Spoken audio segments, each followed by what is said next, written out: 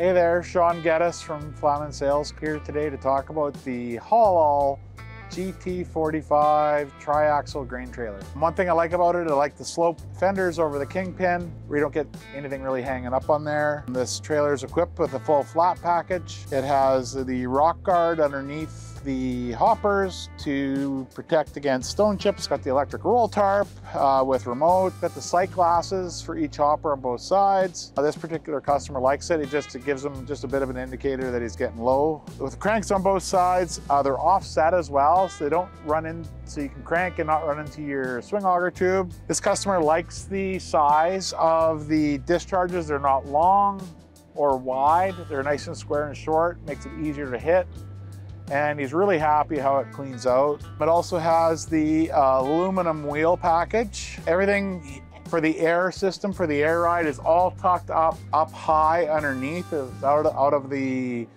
area for road rash and whatnot. As you can see, it's built super heavy. Um, it's a farm duty trailer. Um, compared to some of the aluminum products, it won't snap and pop and twist when you're pulling out of fields. It's really meant for rugged work on the farm. Um, this particular trailer compared to, this customer has also Wilson Super Bs and um, uh, triaxle, which are aluminum units.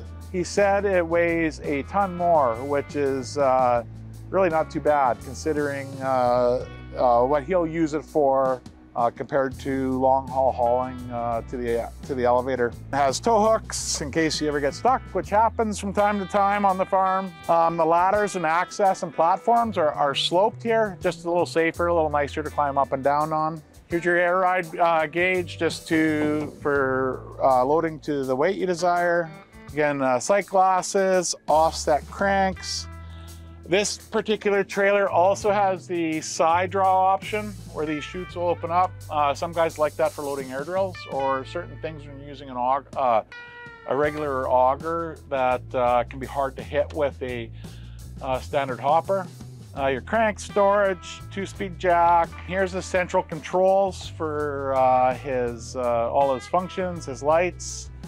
There's loading lights inside the hopper for at night, and there's also lights, I missed showing you that here.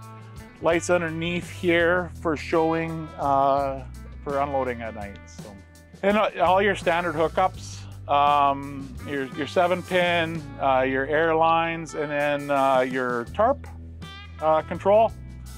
It also has the crank here stored for the tarp in case uh, for some reason the electric tarp fails. It's got a wireless remote control as well for it. If you'd like more information, please contact your local Flaman sales rep and we'd be happy to share more details in regards to the Haul GT45 grain trailer.